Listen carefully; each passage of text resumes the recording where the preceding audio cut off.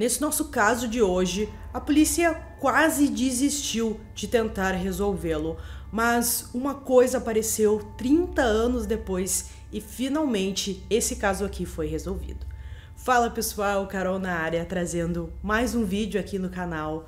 Todas as semanas eu trago esse tipo de conteúdo aqui para vocês, casos criminais resolvidos, aqueles que ainda são um mistério. Então se você gosta, já se inscreve aqui no canal, deixa um like, deixa um comentário, compartilha o vídeo com os amigos e não esquece de ativar o sininho de notificações. Bora pro vídeo.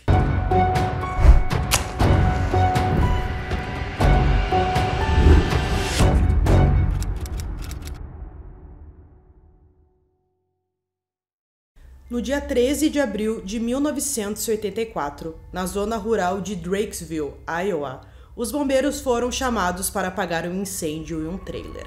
Quando chegaram, o incêndio já tinha destruído praticamente todo o trailer, mas enquanto estavam no local, os bombeiros encontraram um corpo queimado de um jovem caído do lado de fora do trailer.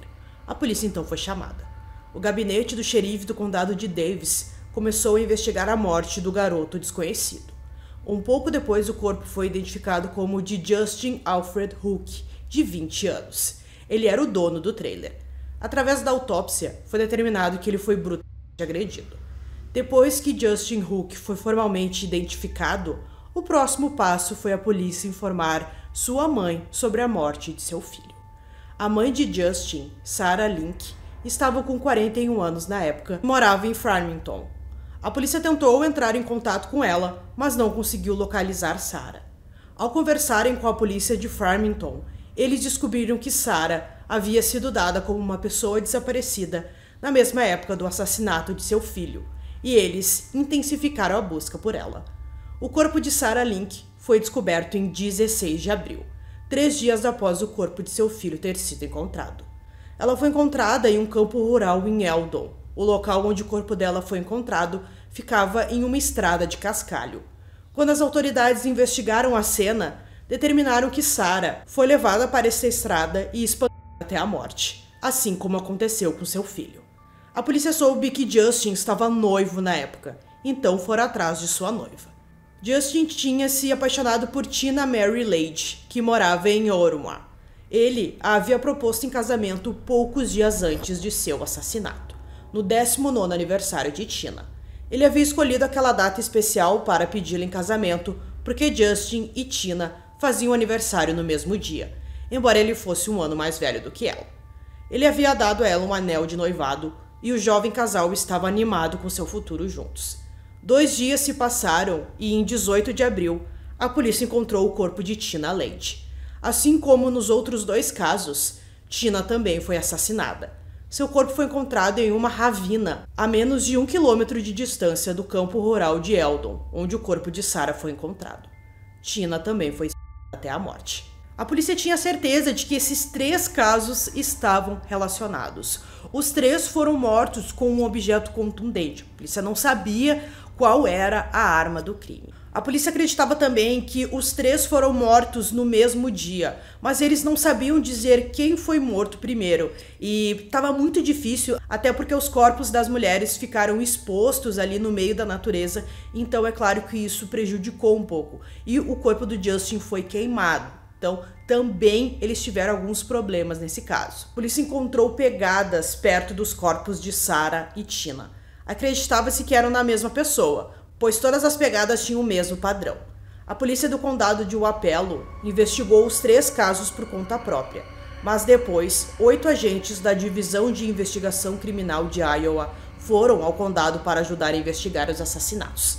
Eles começaram a seguir centenas de pistas, na esperança de descobrir quem os havia tirado suas vidas.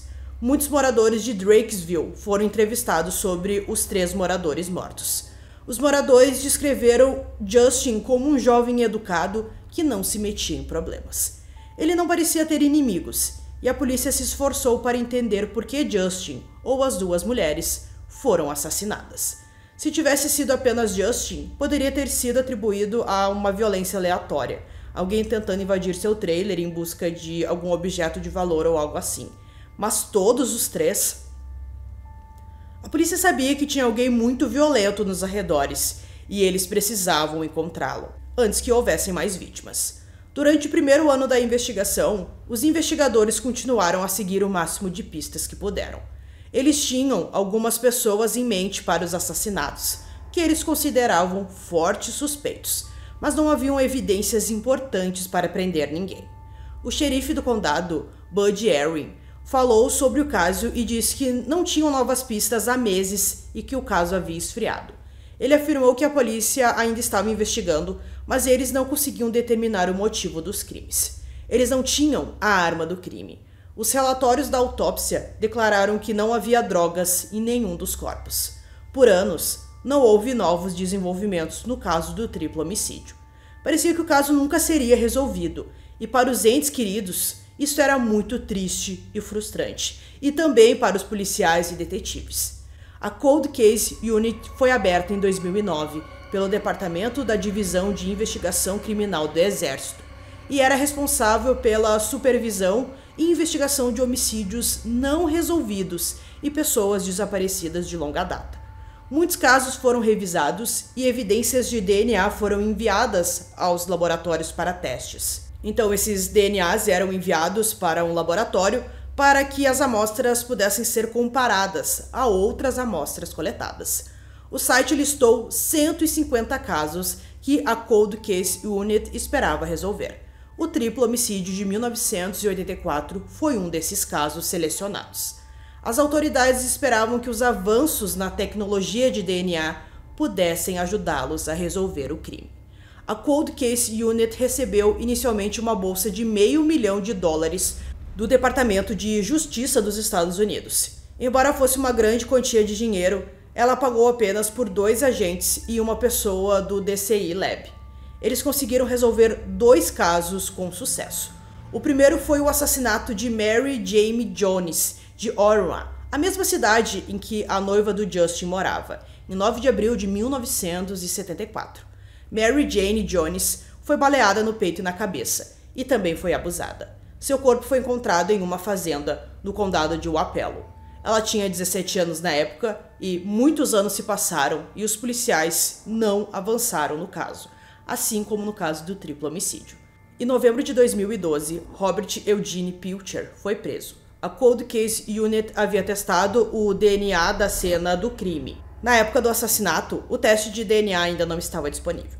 A polícia descobriu que o primo de Robert era dono daquela casa, daquela fazenda, onde o corpo da Mary foi descoberto. Seu primo estava fora da cidade naquele dia e Robert usou o local para cometer o crime. O julgamento de Robert Pilcher ocorreu em janeiro de 2014 e terminou com um júri empatado. Ele se declarou culpado de uma acusação reduzida de assassinato em segundo grau e recebeu uma sentença de 10 anos.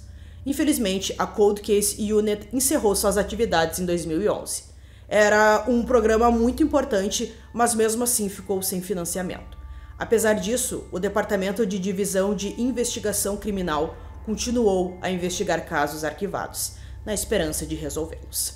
Em 2010, a equipe consistia em uma equipe bem reduzida, apenas com um detetive e um analista. Eles continuaram da melhor forma que puderam até dezembro de 2011, quando foram completamente fechados. Mas mesmo assim, eles tiveram tempo de resolver um caso. Em agosto de 2011, o caso de triplo homicídio foi examinado pelo DCI, o gabinete do xerife do condado de Apelo e o gabinete do xerife do condado de Davis. Os crimes já tinham ocorrido há muitos anos atrás, mas mesmo assim estavam sem respostas. As autoridades revisaram o caso em março de 2012. Eles tiveram evidências de DNA reenviadas ao laboratório de criminalística do DCI. As evidências de DNA foram retiradas do interior da calça jeans de Tina Leite. Embora a polícia tenha declarado que não havia evidências de agressão sexual no momento do assassinato de Tina, havia sêmen em sua calça. A polícia esperava que, com a tecnologia moderna melhorando muito, houvesse uma chance de finalmente obter respostas naquele caso arquivado. Quando os resultados do DNA voltaram, eles ficaram entusiasmados ao descobrir que tinha uma correspondência. Um homem chamado Andrew Weasel Six. As autoridades não estavam prontas para nomeá-lo como o assassino imediato. Eles voltaram aos arquivos do caso e estudaram tudo o que tinham. A polícia conduziu entrevistas querendo ter 100% de certeza. Andrew Six tinha sido um suspeito no início da investigação, embora a polícia não tivesse evidências suficientes na época para fazer uma prisão. Mike Motzinger, um agente especial da Divisão de Investigação Criminal de Iowa, foi entrevistado e disse o seguinte: Só porque o DNA de alguém está lá, você não pode simplesmente apressar o julgamento. Então você tem que começar de novo e agir como se fosse um caso novo. É um homicídio de 30 anos atrás, e as pessoas se mudam, trocam de nome se caso, morrem então tivemos que fazer nossa devida diligência como policiais para garantir que todos fossem entrevistados e acompanhar todos os rumores possíveis para que pudéssemos chegar a esse ponto, para nos sentirmos confiantes de que Andrew Six é o responsável por isso. O gabinete do xerife do condado de Apello realizou uma coletiva de imprensa em 1 de janeiro de 2014. Eles anunciaram oficialmente que Andrew Six havia assassinado Justin Hook, Tina Lade e Sarah Link. Mas embora eles finalmente soubessem que havia matado todas as três pessoas, não haveria uma justiça nesse caso. Quando eles deram a entrevista coletiva, Andrew Six já estava morto há anos. Ele morreu por injeção letal em 1997, porque sequestrou e assassinou uma menina de 12 anos chamada Kate Allen. Se a polícia tivesse prendido Andrew antes, talvez Kate nunca tivesse morrido. Em 1987, Andrew Six e seu tio, Donald Petari, foram ao trailer da família Allen e Orma para falar com Don e Stellan Allen. Eles disseram que queriam comprar uma caminhonete usada deles. Don Allen precisava vender a caminhonete e esperava fazer uma venda muito rápida, porque ele precisava de dinheiro para pagar sua cirurgia no coração. Mas Andrew e Donald não tinham intenção de realmente comprar o veículo. Andrew e seu tio estavam lá para roubar a família Allen. Isso em si já era um ato horrível, mas ainda pior foi o fato de que Andrew também fez planos para abusar da irmã grávida de 17 anos de Kate, a Christine. Eles até compraram fita adesiva antes de seu encontro com a família Allen, para amarrá-los. Andrew, Donald e Stellan foram dar uma volta no carro para Andrew testá-lo. Durante o passeio, Andrew parou o veículo no acostamento dizendo a Stellan que queria dar uma chance ao tio de dirigir o carro. Mas tudo isso fazia parte do plano deles. Em algum momento, Stellan foi amarrada com a fita adesiva e eles voltaram para o trailer. No local, Andrew colocou uma faca no pescoço de Stellan e ordenou que todos entrassem no trailer. Dom também foi amarrado e Andrew foi até o quarto de Christine para abusar dela. Quando os dois estavam levando a família para fora do trailer, uma luta aconteceu. Dom e Christine conseguiram se soltar e correram para pedir ajuda.